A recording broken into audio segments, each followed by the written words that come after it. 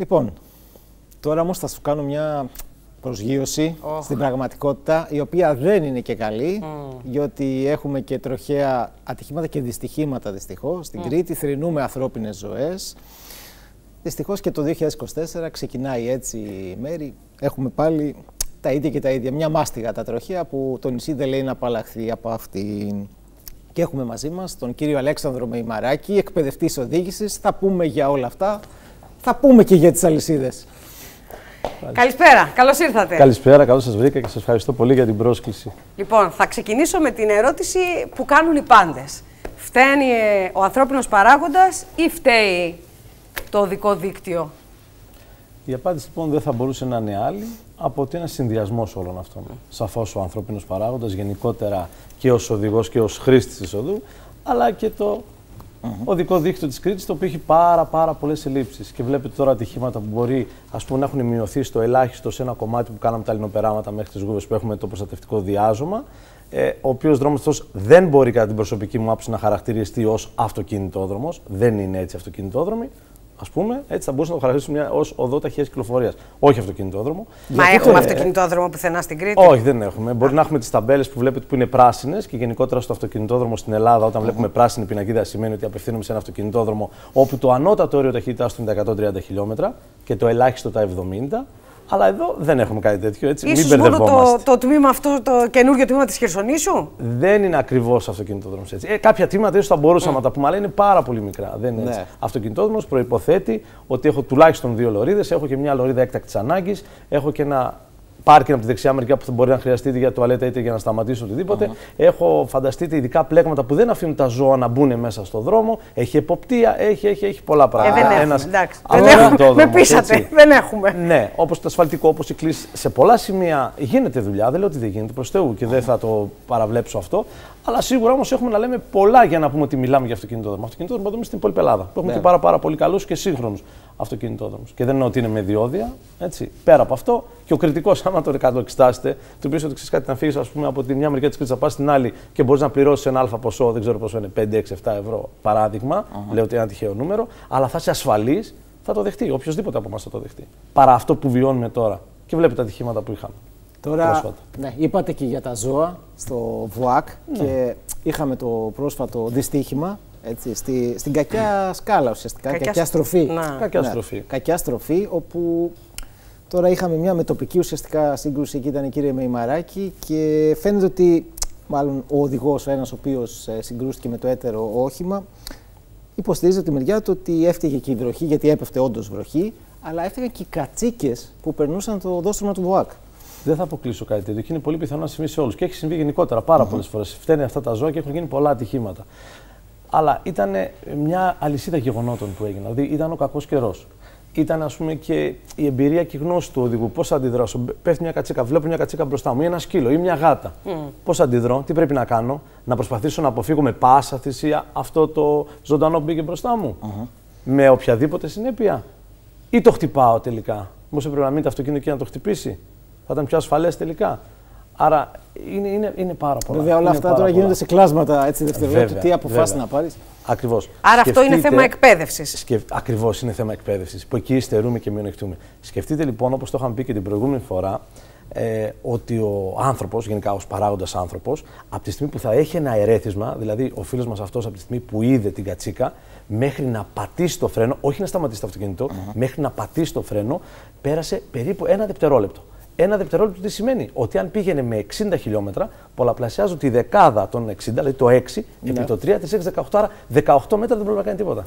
Εκφύσεως, το έχουμε όλοι οδηγεί αυτό. Mm. Ω άνθρωποι γενικότερα, έτσι. Πού να πήγαινες δηλαδή άρα... και με περισσότερα από Ακριβώς. Ακριβώς. Και είναι και το δεδομένο, όπως ε, βλέπετε και από την άλλη μεριά τώρα, είχαμε δύο κυρίες με ένα μικρό παιδάκι μες στο αυτοκίνητο. Ε, που θα πρέπει να γίνει παράδειγμα προς όλους μας η χρήση της ζώνης, του προστατευτικού καθίσματο. Είχαμε κάνει ένα πολύ ωραίο ρεπορτάζ στο TV παλιότερα και με πολλά καθίσματα έτσι, παιδικά και λέγαμε και εξηγήσαμε. Σκεφτείτε το 80% των γονιών δεν ξέρουν να δέσουν καν σωστά το παιδί τους στο κάθισμα. Το 80%. Το 80% ναι. Δυστυχώς είναι πολύ μεγάλο το νούμερο. Δηλαδή το βάζω εκεί εσύ για να το βάλω. Ή δεν το βάλα γιατί κλαίει. Τώρα εκεί πρέπει να διαλέξεις. Κλαίει ή δεν κλαίει. Το δεν κλαίει καταλαβαίνετε τι εννοώ. Ναι. Πρέπει να επιλέξεις. Και αυτό που θα πρέπει να σε φοβήσει, χωρίς να δαιμονοποιώ τη συμπεριφορά του κάθε ενός γενικότερα, Θέλω να πω το εξής: Ότι πρέπει να έχεις στο μυαλό σου ότι ένα τέτοιο τροχαίο ατύχημα μπορεί να συμβεί και σε σένα. Αν υπολογίσουμε ότι ένας ξεκινάει και οδηγεί στη ηλικία των 18 μέχρι τα 65, που θα πω εγώ στα 70 του, σκεφτείτε ότι οι 3 στους 4, ένα ποσοστό 75%, θα εμπλακεί σε ένα τροχαίο ατύχημα. Άρα δεν εξαιρείσαι. Μπορεί να συμβεί και σε σένα. Τι θα κάνεις, θα πρέπει να προσέξεις, να λάβεις τα μέτρα σου, τη ζώνη σου, το παιδάκι στο παιδικό κάθισμα όπως πρέπει να είναι και όπως προβλέπεται και όπως έχει σχεδιαστεί το κάθισμα για να μπορέσει να το προφυλάξει. Γιατί αν δεν είναι όπως πρέπει, ουσιαστικά είναι ως μη γενόμενο, φανταζόμαστε το παιδικό κάθισμα. Ακριβώς. Ναι. Το ίδιο. Σκεφτείτε, αν γυρίσουμε λίγο στα χρόνια του σχολείου και πούμε η ορμή με τι ισούται, θα θυμηθούν όλοι οι μαθητές και φαντάζομαι το θυμάστε κι εσείς. Είναι η μάζα λοιπόν, το βάρος επί την ταχύτητα. Πώς λοιπόν μπορεί οποιοδήποτε γονιός, όσο χειροδύναμος και να είναι, να κρατήσει το μωράκι στη θέση του; Πώς θα το κάνει αυτό, όσο χειροδύναμο και να είναι, αν πολλαπλασιάσουν τις δυνάμεις. Για σκεφτείτε, αν πηγαίνω μια ταχύτητα, παράδειγμα 50 χιλιόμετρα και έχω και ένα βάρος, παράδειγμα 50, 5, 5, 25, 200, 2.500 πώς θα τα κρατήσω αυτά. Μπορώ, δεν μπορώ. Γι' αυτό γίνεται αυτό που γίνεται έτσι. Πάντως είναι καταπληκτικό το γεγονός ότι είναι δεδομένο ότι είμαστε καλοί γονείς ως Έλληνες. Είμαστε καλοί γονείς. Πώς γίνεται να είμαστε τόσο καλοί γονείς, τόσο προστατευτικοί γονείς και την ίδια ώρα λίγο το κάθισμα, λίγο το κράνος, λίγο η ζώνη, λίγο άντε να μην κλάψεις το παιδί. Λίγο ναι. δεν πειράζει. Εντάξει, και τι έγινε. Και εμείς μεγαλώσαμε στις καρότσες, λέμε καμιά φορά. Ε; Ναι, και αφήνουμε το παιδί στην άκρη ε, να κάνει αυτό που θέλει εκείνη τη στιγμή, βάζοντάς το κυριολεκτικά στον κίνδυνο.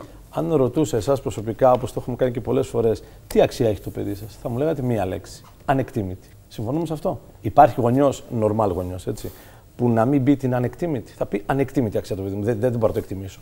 Και μπαίνει λοιπόν στο αυτοκίνητο, φοράει ο γονιός στη ζώνη και βάζει το παιδί λοιπόν πίσω. Χωρίς ζώνη, τίποτα στο κάθισμα, χήμα που λέμε. Και πηγαίνει το παιδί πάνω κάτω. Άρα, πού είναι η ανεκτήμητη αξία, πώς λες ότι τα αγαπάς το παιδί, πώς το δείχνεις; Δεν το ξέρεις ότι αν όμοι γίνει το χτύπα ξύλο, γίνει σύγκρουση, το παιδί θα εξφεντονιστεί και δεν θα μπορέσει να συγκρατήσει τίποτα και θα χάσει τη ζωή του.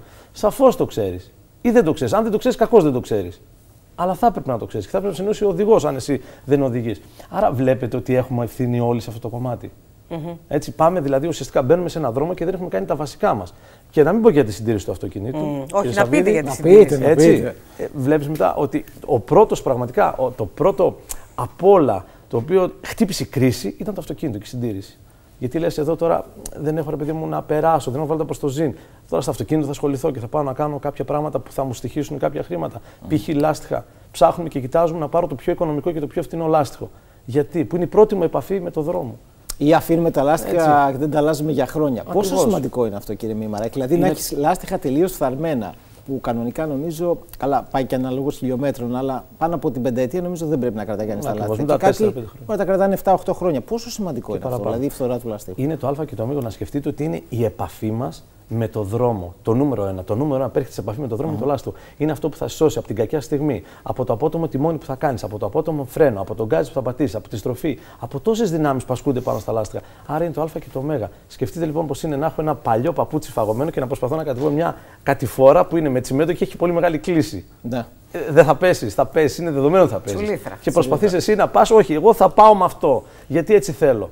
Ναι, αλλά καταλαβαίνω, κρίση, οικονομικά προβλήματα σε όλους, αλλά δεν θα πρέπει να δώσεις προτεραιότητα στην ασφαλειά σου. Γιατί αυτό μπορεί να γυρίσει μπούμενα σε σένα. Και τα λάστιχα και γενικότερα και η συντήρηση και τα φρένα του αυτοκινήτου μας. Πολλές φορές ακόμα και σήμερα έκανε τώρα δύο-τρεις βροχές και βλέπετε αυτοκίνητα στην πόλη μας και τα τζάμι είναι θαμπομένα από μέσα. Mm-hmm. Και δεν ξέρουμε το βασικό ότι θα πρέπει να χρησιμοποιήσουμε τον κλιματισμό του αυτοκινήτου στη θερμοκρασία που επιθυμούμε. Όχι τέρμα ζεστό ούτε τέρμα κρύο. Δεν υπάρχει λόγος. Εκεί που το θέλουμε, με το κουμπάκι το εσύ ανοιχτό και πολύ γρήγορα θα βλέπει η αφήγρανση του αυτοκινήτου και τα τζαμάκια μα θα είναι μια χαρά για να μπορώ να βλέπω, να μην κινδυνεύω. Τώρα, Τόσο απλό. Λέτε κάτι. Υπάρχει κόσμος που δεν ξέρει τι, ποιο είναι αυτό το κουμπί που λέτε.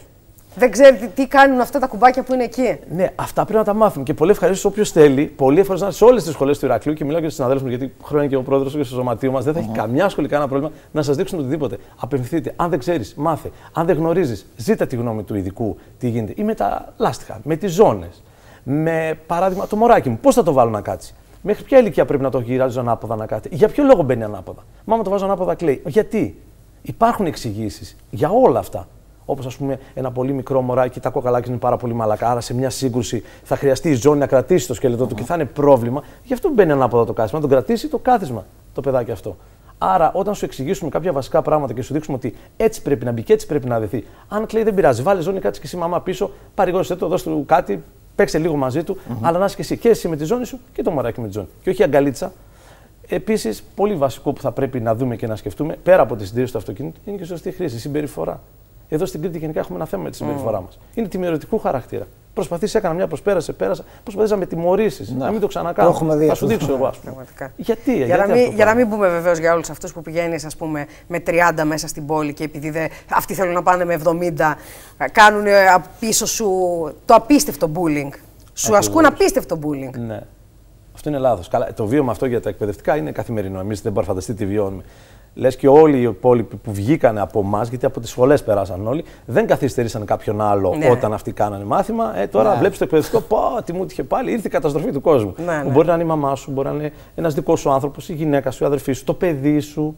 Έτσι. Άρα, γενικότερα, ως κοινωνία έχουμε πολλά ακόμα να μάθουμε στο θέμα συμπεριφοράς και αν γίνουμε όντως και καλύτεροι άνθρωποι, θα το δείξουμε και στον δρόμο. Γιατί ο καθένας μα αφήνει το αποτύπωμα του χαρακτήρα του στον δρόμο. Σωστά. Κύριε Μημαράκη, να σας πάμε και ορμόμενοι πάντοτε από την θλιβερή δυστυχώς επικαιρότητα, ε, αυτοσχέδιες πίστες ε, motocross. Θρυνήσαμε ένα νεαρό παιδί, 17 ετών, στην Ιεράπετρα. Τι γίνεται τώρα με αυτό; Μεγάλη αμαρτία αυτό που έγινε. Είδαμε όλοι το σοκαριστικό αυτό βίντεο. Πραγματικά και, σοκαριστικό. Ναι, ναι. Αυτή ήταν μια αυτοσχέδια όντως πίστα που δεν είχε τις εγκρίσεις που θα έπρεπε να έχει, που γενικότερα γενικά στην Ελλάδα γίνεται κάτι και μετά τρέχουμε να δούμε τι έφτεξε και γιατί έγινε αυτό που έγινε. Πού τη λείπει η πρόληψη. Αφού λοιπόν υπάρχει κόσμος ο οποίος ενδιαφέρει για αυτό το άθλημα και του αρέσει. Τι πιο κοντά να είναι η κοινωνία κοντά σε αυτό. Να φτιάξουμε τις πίστες όπως πρέπει, να δώσουμε πραγματικά τη βαρύτητα εκεί που πρέπει, να έχουμε ενδεχομένως και το ασθενοφόρο και το γιατρό όταν γίνεται και η προπόνηση και όταν γίνονται και οι αγώνες, που είναι πολύ σωστό και θα πρέπει να είναι, και όχι να γίνονται αυτοσχέδιες πίστες. Βάλαμε ένα μηχάνημα, είχε ο γνωστός του γνωστού ένα μηχάνημα, το βάλαμε, κάναμε εκεί πέρα κάποια άλματα και αρχίσαμε και κάναμε αυτοδίδακτοι όλοι βέβαια και κάνουμε καθένας ό,τι θέλει. Και εκεί τώρα που το παιδί αυτό ήταν και καλός αυτό που έκανε, είχε φωνάξει την παρέα του και ήθελε να τους δείξει και λίγο παραπάνω. Ναι. πούμε, καταλάβατε. Όλα αυτά τώρα λειτουργήσαν λίγο αρνητικά εκεί πέρα. Και είχε ως αποτέλεσμα αυτό. Και δεν θέλει πορεία να γίνει. Γι' αυτό θέλει εκπαίδευση από άτομα τα οποία γνωρίζουν το έχουν και ξέρουν να σε προστατεύσουν και πώς θα κάνεις το άλμα και με τι ταχύτητα και τι μηχανή θα έχεις για την ηλικία σου. Δηλαδή όλα αυτά είναι ανάλογα. Τώρα, στο μεταξύ, λέμε τώρα διαρκώς για την εκπαίδευση, εκπαίδευση, εκπαίδευση. Αλλά νομίζω ότι παρά την προσπάθεια που κάνετε και εσείς, οι εκπαιδευτές και η Τροχέ, έχουμε δει στην πόλη του Ηρακλείου, ειδικά η Τροχέ έχει κάνει πάρα πολλά α, σχολιά, έχει επισκεφθεί όλα τα σχολιά νομίζω. Αρκεί να γίνεται μια δράση ε, ε σποραδικά κάποια στιγμή ή πρέπει επιτέλους να μπει ένα σοβαρό μάθημα στο σχολείο από το δημοτικό, να υπάρχει μάθημα ήδη από το δημοτικό, από τις πρώτες τάξεις του δημοτικού; Πάρα πολύ σωστά το θέτετε και αυτή είναι η πραγματικότητα. Αν δεν γίνει αυτό, το παιχνίδι είναι δύσκολο να κερδιθεί. Δεν θα μπορέσουμε. Και εμείς γενικότερα, η δικιά μας η γενιά δεν μπορεί να καθοδηγήσει τα παιδιά σωστά. Κακά τα ψέματα. Πόσες φορές σας λένε τα παιδιά κάτι, λες, άσε με μένα. Έτσι τους λέμε. Άσε με μένα. Κοίτα, εσύ κάνω αυτό και άσε με μένα. Γιατί άσε με σένα. Γιατί; Αφού ουσιαστικά εσύ το παράδειγμα προς μίμηση. Το οποίο τελικά δεν είσαι προς μίμηση, είσαι προς αποφυγή. Και δυστυχώς αυτό γίνεται. Άρα λοιπόν θα πρέπει τον οδηγό του σήμερα, αυτό που θέλουμε, θα πρέπει να φτιάξουμε από τώρα να ξεκινήσουμε, να προσπαθήσουμε να αφιερώσουμε όλο αυτό το χρόνο, να του δώσουμε αυτά τα εφόδια που να τον φτάσουμε στο, στο, στο ότι πλησιάζω το φανάρι, είναι πορτοκαλί και πρέπει να σταματήσει και να το κάνει. Όχι να επιταχύνει να φύγει. Πόση δουλειά θέλουμε ως κοινωνία για να το πετύχουμε αυτό, σίγουρα πάρα πολύ. Αλλά δεν είναι ποτέ αργά, μπορούμε να το κάνουμε. Θα πω άλλη μια φορά, όπως το Και με αυτό να κλείσουμε, γιατί φορές, πρέπει να πάμε σε διάλειμμα, ναι, κύριε Ότι τα νέα παιδιά είναι πολύ, πολύ καλύτερα και έχουν πολύ, πολύ πιο ωραία στοιχεία από την τότε ηλικία που ήμουν εγώ, ας πούμε, στα 18.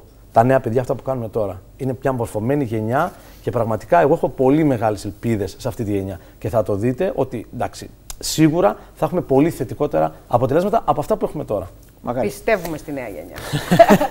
Πιστεύουμε στη νέα γενιά, παλεύουμε για τη νέα γενιά. Τη στηρίζουμε. Εννοείται. Και την αγαπάμε. Ευχαριστούμε πολύ. Και εγώ σας ευχαριστώ πάρα πολύ.